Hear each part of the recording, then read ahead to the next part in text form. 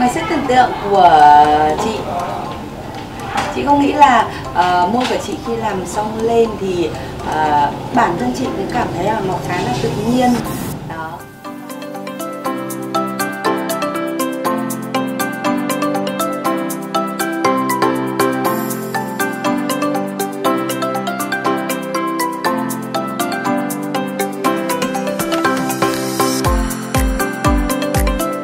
Thực ra chị không biết với mọi người như thế nào nhưng mà đối với riêng bản thân chị à, là người trực tiếp trải nghiệm ừ, à, khi làm môi thì chị thấy là ừ, à, lúc đầu khi mà bắt đầu đi viền môi thì nó chỉ hơi dâm gian một chút thôi thế nhưng nó ở trong cái khả năng gọi là uh, chịu đựng của mình mình vẫn chịu được. Nhưng còn về sau khi bắt đầu đã làm quen rồi qua cái bước gọi là dâm gian đấy rồi thì mình thấy hoàn toàn là bình thường.